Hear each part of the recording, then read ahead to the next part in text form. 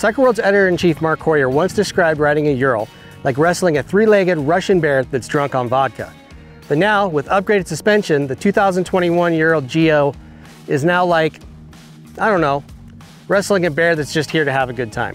So for 2021, the Ural Gear Up Geo is basically an upgraded Gear Up. It's a special limited edition model they've only made 20 of worldwide, and we have one of them here. Actually, we have number one of 20 sitting right here. So what makes it a Geo? Well, first off, it's got special edition hand painted camo. So every one of these paint jobs is actually a little bit different because it's hand masked, sprayed, done again. It has its own unique look. Every one of them is gonna look completely different than the next one down the line. But more important than paint job, it's got a bunch of upgraded parts, starting with the suspension, which makes a massive difference on how this motorcycle handles. We've got Nitron fully adjustable shocks on all five shock positions. That's right, it's got five shocks. Two up front on the leading link suspension, two on the rear for the swing arm, and one on the sidecar. These shocks are 40 millimeter in diameter, and they're fully adjustable for preload, compression, and rebound. Then the rest of it is basically cosmetics and stuff to let you live with it a little bit better. So starting off, you've got a little more, rack space than you would on a normal gear up. You got a front rack and a rear rack. On the driver's side, you have a nice tall windshield to get the air over your body and make it a little bit more comfortable. And you've got a mount for a cell phone, you've got USB chargers to charge that cell phone, and then you've got some Heidenau K37 tires for extra grip while riding off-road. And it has a one and a half gallon RotoPaX fuel can. Other than that, it's really very similar to a Gear Up. It's just cooler and better equipped. The engine is, we'll say, not that impressive. It's got 41 horsepower, it's air cooled, it's a boxer motor, and it's basically built on the same architecture since the 1950s, 1930s. I don't know, before my grandfather even thought about riding a motorcycle, this engine design was around. So with that, it's not very high tech. It does have fuel injection now, and it's had some uh, engine upgrades in 2019 to make it pass emissions and run a little bit better.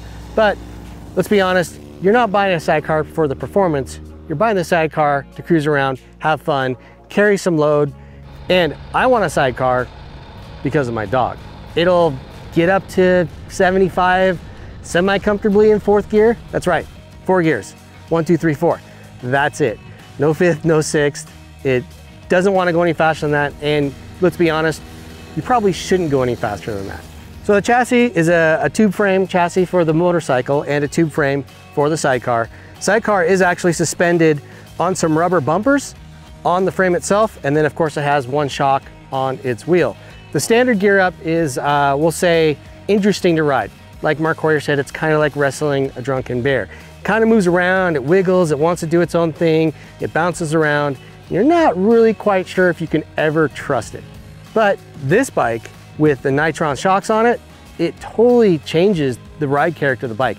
It feels planted, it feels a bit more stable, as stable as you can be for a three-wheeler, and it actually soaks up the bumps really nice on and off-road. It just gives it a really nice ride quality. And I wish that these shocks were available on every gear up. It would totally change the ride quality.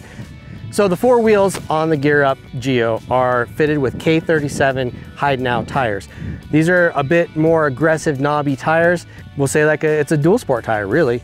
And it feels like that on the road. Bending into the street corners and stuff, you can feel the knobs move and it gives it a little less traction on the street than say a normal uh, street tire. But when you get in the dirt, it has excellent traction and with the two wheel drive, it can go pretty much anywhere. If you can't make it up front ways, throw it in reverse and back up and it's like a front wheel drive car. It'll go up anything.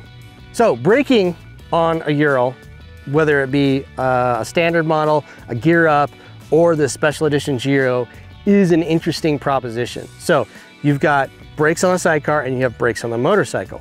The rear brakes on the motorcycle are linked to the sidecar. The front brake is front brake. So when you hit the rear brake, the whole machine wants to go to the right. Grab the front brake, the whole thing wants to go to the left. Hit them both at the same time, it's a battle to see which one comes out on top, to be honest. Once you get used to it though, you figure out how much pressure to apply to each and how to kind of modulate it and you can keep it going in a straight line, no problem.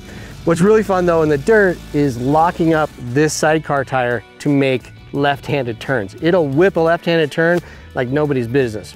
Right-handed, that's a different story because you, the sidecar wants to push against the motorcycle, which has more traction than the sidecar. So it lifts up the sidecar and what we do is we fly the sidecar. Up front, you've got dual four piston Brembo calipers. And at the back, you've got a dual piston HB caliper. And they're plenty, plenty strong. At $26,999, there's a lot to like about the Ural. I really like it, but there's also some dislikes. It's so much fun to ride. I mean, that right there is worth the price of admission alone. Everyone loves to see you in it. You can take your friends, you can take your family, you can go camping, you can take your dog. It just has so many fun things about it. But there are some issues. When you buy one, you're not expecting to buy a super high quality polished gem of a motorcycle.